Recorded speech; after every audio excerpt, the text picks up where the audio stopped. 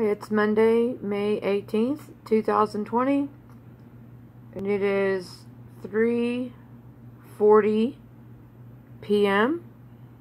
I give God all the glory.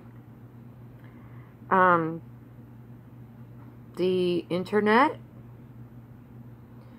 is down, the AT&T internet, and they say it's going to be 24 to 48 hours before they fix it.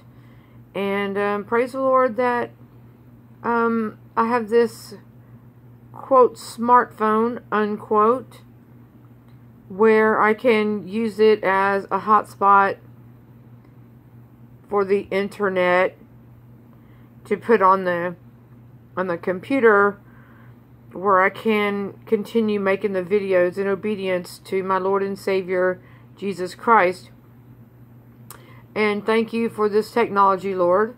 And I learned something new today. I know that this isn't new to people, but it's new to me. So I figured it out, and um, it wasn't easy to um, to figure out because, well, I don't use the smartphone. I use the phone to make videos only, and or if I'm on the road and I break down in the car, I turn it on to call AAA to come and help me. Otherwise, I don't use the smartphone. Okay? But thank you, Jesus, for this technology. Okay. On First Peter chapter 5. The elders which are among you I exhort, who am also an elder and a witness of the sufferings of Christ, and also a partaker of the glory that shall be revealed. Feed the flock of God which is among you, taking the oversight thereof, not by constraint, but willingly, not for filthy lucre, but of a ready mind.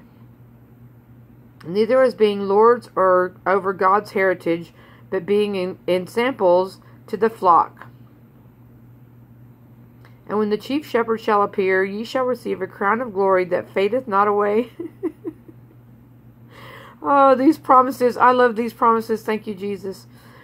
Verse 5 Likewise, ye younger, submit yourselves unto the elder. Yea, all of you be subject one to another, and be clothed with humility.